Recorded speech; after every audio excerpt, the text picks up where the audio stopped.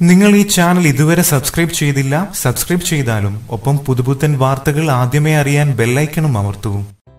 ഡോക്ടറിന്റെ അനാസ്ഥയും ചികിത്സാ പിഴവും മൂലം മകന്റെ മരണം മുന്നിൽ കണ്ട ഒരു അച്ഛന്റെ അനുഭവക്കുറിപ്പ് സമൂഹ മാധ്യമങ്ങളിൽ കണ്ണു നിറയ്ക്കുന്നു. ഷഹീർ എന്നയാളുടെ ഫേസ്ബുക്ക് പോസ്റ്റാണ് വായനക്കാരെ നേടുന്നത്. പൊന്നുമോൻ വിട പറഞ്ഞിട്ട് ഒരു വർഷം തികഞ്ഞു എന്ന് തുടങ്ങുന്ന കുറിപ്പിൽ എങ്ങനെയാണ് മകൻ നഷ്ടപ്പെട്ടതെന്നാണ് ഷഹീർ കുറിക്കുന്നത്. ചെറിയ ഛർദിയിൽ തുടങ്ങിയ അസുഖമാണ് അവനെ മരണത്തിലേക്ക് നയിച്ചത്. അസുഖമായി മകനെ കൃത്യസമയത്ത് ആശുപത്രിയിൽ എത്തിച്ചിട്ടും അവനെ രക്ഷിക്കാനാകാത്തതിന് പിന്നിൽ ഡോക്ടറിന്റെ അനാസ്ഥയാണെന്നാണ് ഷഹീറിന്റെ കുറിപ്പിൽ വ്യക്തമാകുന്നത്. താനും ഭാര്യയും ഡോക്ടറെ വിശ്വസിച്ചുവെന്നും എന്നാൽ ചേതനയേറ്റ മകന്റെ ശരീരമാണ് പിന്നീട് കാണേണ്ടി വന്നതെന്നുമാണ് ഈ പിതാവ് കുറിക്കുന്നത്. സ്വർഗത്തിൽ വെച്ച് കണ്ടുമുട്ടാൻ സർവശക്തൻ ഞങ്ങളെ അനുഗ്രഹിക്കട്ടെ എന്ന് പറഞ്ഞാണ് ആ കുറിപ്പ് അവസാനിപ്പിക്കുന്നത്. കണ്ണു നനയാതെ ഈ കുറിപ്പ് വായിക്കാനാകില്ല. കുറിപ്പിന്റെ പൂർണരൂപം ഇങ്ങനെ. പൊന്നുമോൻ വിട പറഞ്ഞിട്ട് ഒരു വർഷം തികഞ്ഞു. ഉച്ചസമയത്ത് മോൻ ചെറിയ രീതിയിൽ ഛർദ്ദിച്ചിരുന്നു. വൈകുന്നേരം ചെറിയൊരു ആവശ്യത്തിന് ഞാൻ കുമ്പളയിലായിരുന്നു. ഭാര്യയുടെ മൊബൈലിൽ നിന്നും ഉമ്മയുടെ വിളി മോൻ കൂടുതലായി ഛർദ്ദിക്കുന്നു. പെട്ടെന്ന് വാ എന്ന് പറഞ്ഞു.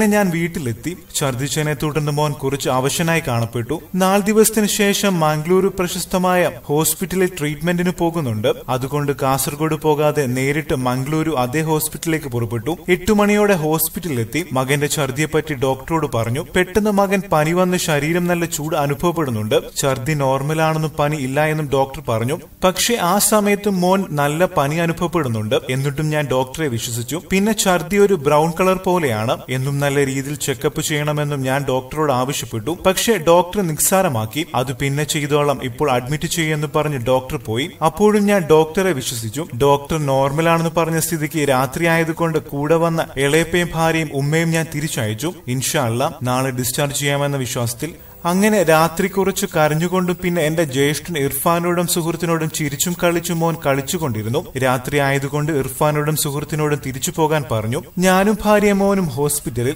അങ്ങനെ രാത്രി ഒരു മണിയാവാറായപ്പോൾ മോൻ വീണ്ടും ഛർദ്ദിക്കാൻ തുടങ്ങി. ഉടനെ നേഴ്സിനെ വിളിച്ചു. നേഴ്സ് വന്ന് ഗ്ലൂക്കോസ് കുത്തിവെച്ചു പോയി. അപ്പോഴും ഞാൻ ഡോക്ടറെ വിളിക്കാൻ നേഴ്സിനോട് ആവശ്യപ്പെട്ടു. അവരും മൈൻഡ് ചെയ്തില്ല. പിന്നെ കുറച്ചു കഴിഞ്ഞപ്പോൾ കൂടുതലായി ഛർദ്ദിക്കാൻ തുടങ്ങിയപ്പോൾ നേഴ്സിനോട് ഞാൻ കുറച്ച് ഗൗരവത്തിൽ തന്നെ ഡോക്ടറെ വിളിക്കാൻ പറഞ്ഞു. മനസ്സില്ലാ മനസ്സോടെ പാതിരാത്രി ആയതുകൊണ്ട് കൊണ്ട് അവസാനം ഡോക്ടറെ വിളിച്ചു. പക്ഷെ ഡോക്ടർ പറഞ്ഞത് നിങ്ങൾ ഐസുവിൽ കൊണ്ടുപോയിക്കോ ഞാൻ രാവിലെ വരാമെന്നാണ്. അങ്ങനെ ഞാൻ തന്നെ എന്റെ നെഞ്ചോട് ചേർത്ത് മോനെ ഐസുവിൽ കൊണ്ടുപോയി. അത് മോനെ അവസാനമായി നെഞ്ചോട് ചേർത്തതാണെന്ന് ഒരിക്കലും കരുതിയില്ല. അങ്ങനെ ഐസുവിൽ മോന് കൂട്ടായി ഭാര്യ നിന്നു. സുബഹിക്കടുത്ത സമയത്ത് ഭാര്യ എനിക്ക് വിളിച്ചുകൊണ്ടേയിരുന്നു. മോൻ ക്ഷീണിതനാണെന്ന് പറഞ്ഞു. അപ്പോഴും ഡോക്ടർ നോർമൽ ആണെന്നും സീരിയസ് ഒന്നുമില്ലെന്നും രാത്രി പറഞ്ഞതിൽ വിശ്വസിച്ച് ഞാൻ ഭാര്യയെ സമാധാനിപ്പിച്ചു. അങ്ങനെ രാത്രി ഒരു മണിക്ക് വിളിച്ചു ഡോക്ടർ രാവിലെ ഒമ്പത് മുപ്പതാകുമ്പോൾ വന്നു. മോനെ നോക്കി ഭാര്യയോട് ഭാര്യയുടെ ഹസ്ബൻഡിനെ വിളിക്കാൻ പറഞ്ഞു. ഞാൻ ഉള്ളിൽ ചെന്ന് എന്നോട് അപ്പോഴും പറയുന്നത് സീരിയസ് ആയി ഒന്നുമില്ല. ഒരു ദിവസത്തിനകം ഡിസ്ചാർജ് ചെയ്തു പോകാം. ചെക്കപ്പ് ഞാൻ പിന്നെ ചെയ്യാമെന്ന് ഡോക്ടർ പറഞ്ഞു. അപ്പോഴും ഭാര്യ എന്റെ കൈപിടിച്ച് കരഞ്ഞു പറഞ്ഞു. ഡോക്ടർ പറയുന്ന പോലെയല്ല മോന് നല്ലോണം അവശതയിലാണ്. പക്ഷെ ഒരു ഉമ്മായിക്ക് മകൻ അവശതയിൽ കാണുമ്പോൾ ഉണ്ടാകുന്ന ദുഃഖമെന്ന് വിചാരിച്ചു ഞാൻ ഡോക്ടറെ വീണ്ടും വിശ്വസിച്ചു. ഡോക്ടർ സീരിയസ് ആയി ഒന്നുമില്ല എന്ന് പറഞ്ഞ് ധൈര്യത്തിൽ ഭാര്യയുടെ ക്ഷീണമകറ്റാൻ ഹോസ്പിറ്റലിലെ ക്യാന്റീനിൽ പോയി ചായ വാങ്ങിച്ചു.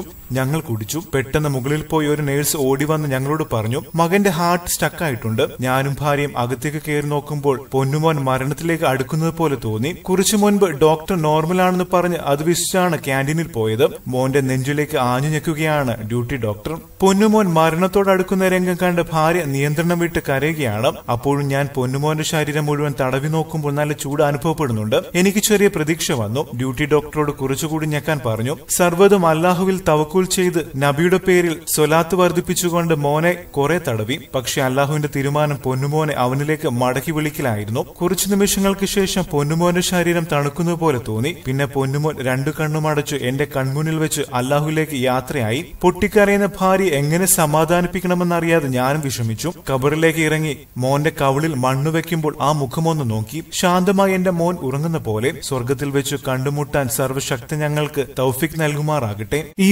വാർത്തയോട് നിങ്ങൾക്കും പ്രതികരിക്കാം. ഒരു കമന്റിലൂടെ. അതുപോലെ പുതിയ വാർത്തകൾക്കും സിനിമാ വിശേഷങ്ങൾക്കും സബ്സ്ക്രൈബ് ചെയ്യുക. നന്ദി.